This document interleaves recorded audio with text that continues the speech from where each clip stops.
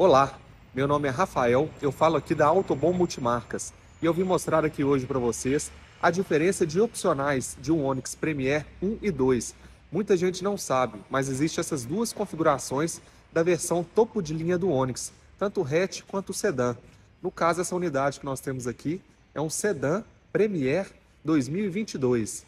Então, eu vou mostrar aqui a diferença, o que, que o Premier 2 tem que o Premier 1 não tem. Me acompanhe que eu vou mostrar todos os detalhes aqui. Vamos começar pela parte externa.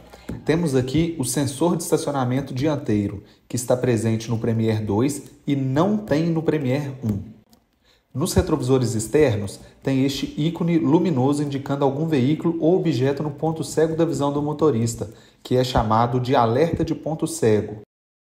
Na parte interna, temos os comandos do ar-condicionado automático digital, que no Premiere 1 é analógico e já neste modelo Premiere 2 é digital.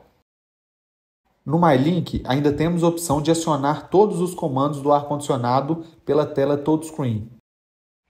Outro detalhe importante são os bancos revestidos em couro. No Premiere 1 são parcialmente em couro, ou seja, a faixa central do banco é feita em tecido e as extremidades em couro. Já no Premiere 2 são totalmente revestidos em couro. E na minha opinião, o mais legal de todos é o assistente de estacionamento, que em algumas outras marcas é chamado de Park Assist.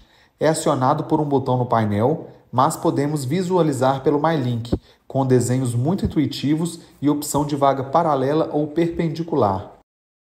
Então é isso aí. Agora, quando te perguntarem o que um tem e o outro não, você já sabe responder. E se estiver adquirindo um ou pensando em adquirir, já sabe qual vai te atender melhor. Até a próxima, um abraço, pessoal.